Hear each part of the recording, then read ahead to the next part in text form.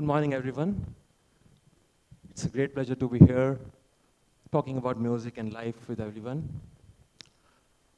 Had there not been the medium of art, we would have never been able to express what we cannot say through words. Art is the backbone of society. If we try to imagine a world without the art forms, be it music, painting, sculpture, or anything, the probably, probably world would be deprived of creativity, beauty, and human expression. Music is perhaps the first language human beings knew, much before words came into existence. And music has always existed in nature as a part of our being. If we see, we can hear music everywhere around us in nature, in waterfalls, and through any sounds. Even our heartbeat has a rhythm. So music is a universal language which transcends all boundaries of culture, religion, and language. And that is why it can communicate to everyone through the pure medium of sound. Indian classical music is today one of the most respected forms of music around the world. And owing to its complex and highly versatile nature, it has gained popularity specifically in the West in the past five decades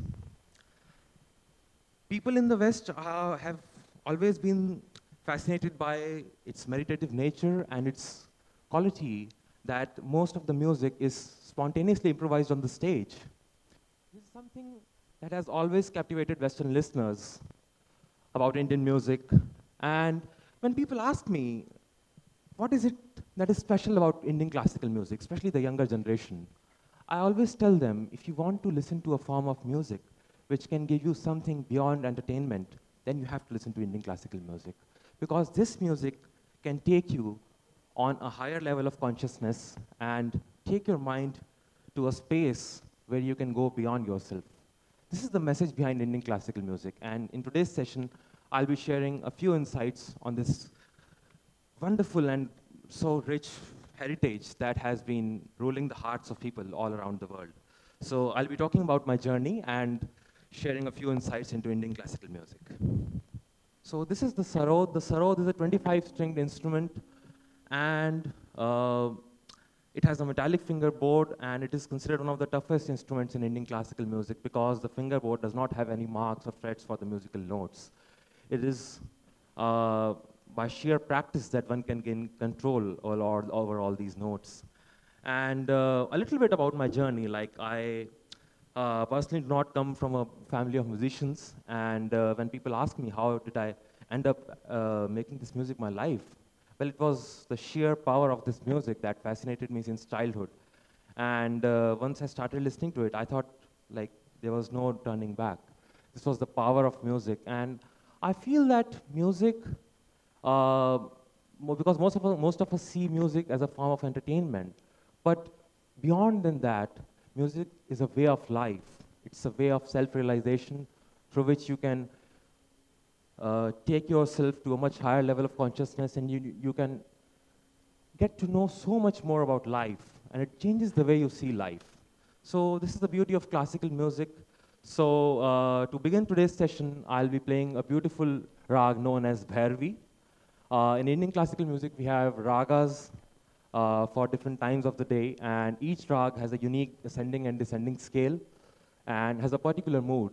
So I've chosen to play for you Rag Bhairavi. So Indian classical music is usually played with percussion. So for today's session, I'll be having Shailendra Mishra ji accompanying me on tabla. So I would like to welcome him to join me on the tabla. Shailendra ji. So these 25 strings have to be tuned according to the rag or the melody that we are playing. And uh, in order to produce the best of music, they have to be continuously kept in tune. So thank you for your patience while we tune. And that's a regular feature when we play.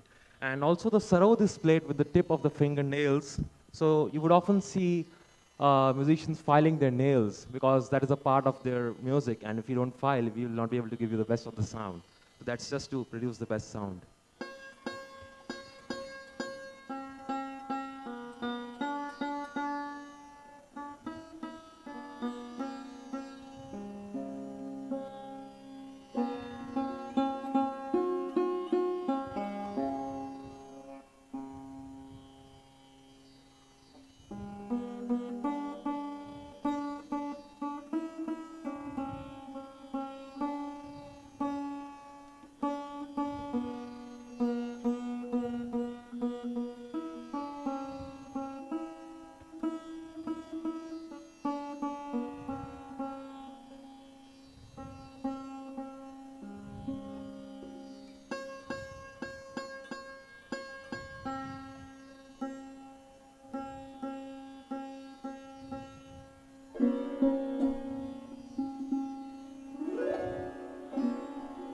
I'll be playing Rag Bhairavi with a composition in Teen Tal, rhythmic cycle of 16 beats.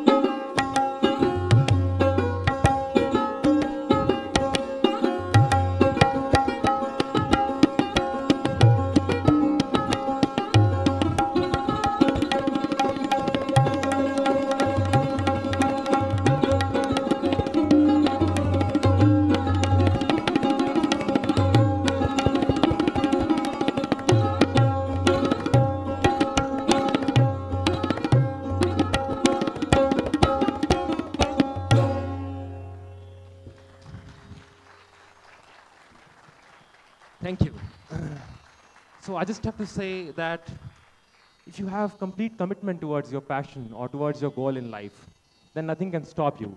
There'll be a lot of hurdles. People will say a lot of things if you have chosen to follow an unconventional path. But once you have commitment towards anything, then there's no one to stop you. So wishing you all the best for whatever you do in life. Thank you.